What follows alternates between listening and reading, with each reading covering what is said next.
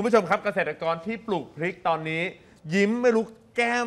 ฉีกไปถึงไหนแล้วฮะ เพราะว่าราคาพริกมันดีเหลือเกิน โลละร้อยสามสิบอะ จากโลละ60บาท เท่าตัว เท่าตัว อืม แล้วมีคนมารับซื้อถึงหน้าสวนเลยคุณผู้ชม นี่คือราคาพริกณวันนี้ โลละ130ครับ ชาวบ้านที่บ้านหนองม่วงใหญ่ตำบลยิ้วอำเภอห้วยแถลง จังหวัดนครราชสีมากำลังโอ้โห มารุมกันเลยเก็บพริกนะฮะ เพราะว่า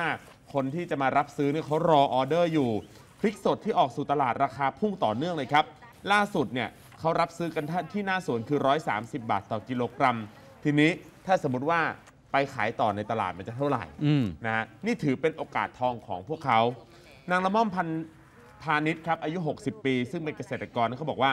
ปีนี้ปีนี้พริกสดเนี่ยหน้าสวนราคาสูงมาก ถ้าเทียบกับ ช่วงเวลาเดียวกันนะ ปีที่แล้วนะคุณผู้ชม ราคาพริกสดหน้าสวนอยู่ที่กิโลกรัมละ 16ถึง17 บาท โอ้โหจาก 16ถึง17 บาท เกือบสิบเท่า น้ำตาตกเลยนะปีที่แล้วอะอืมอืม พอมาถึงตอนนี้ยิ้มออกเลยครับฉัน ก็ไม่รู้มันขึ้นเพราะอะไร แต่มันก็ราคาดีอะเนาะแต่มันราคาดีขึ้นตอนช่วงน้ำท่วมเนี่ยอ๋อน้ำท่วมมามันก็ขึ้นมาเรื่อยๆขึ้นยาวมาเลยจ้ะขึ้นตอนนี้ยวมล่าสุดอยู่ที่โลเท่าไหร่นะครับล่าสุดพริกโลร้อยสามสิบอ๋อถือว่าดี ถือว่าดีชาวสวนดีมากๆเลยตอนนี้ฉันก็ไม่รู้โอ้มันขึ้นโอ้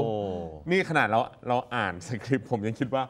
60 70 นะครับ มัน 16 17 อะเกือบโลสิบละเท่านะ โอ้โหขึ้นมานะ ขึ้นมาได้ยังไงขนาดนี้นะฮะเกษตรกรยังไม่รู้เลยขึ้นได้ยังไงอ่าชาวบ้านที่มารับจ้างเก็บพริกเนี่ยรายได้ก็เป็นกอบเป็นกำเหมือนกันวันละ 200 300 บาท ครับ ต้องจับตาดูนะฮะว่าหลังจากนี้ ราคาพริกที่มันผันผวนขนาดนี้เนี่ยอืม เป็นเพราะอะไร ครับ อาจจะเป็นเพราะหน้าแล้งพริกขาดตลาดหรือเปล่าอืมฤดูกาลหรือเปล่าหรือ ความต้องการเยอะอะครับ ลองดู เดี๋ยวพรุ่งนี้คาดว่าทางพาณิชย์เองเนี่ยน่าจะออกมาบอกเรื่องนี้เหมือนกันครับพอเป็นข่าวเป็นคราวนะครับ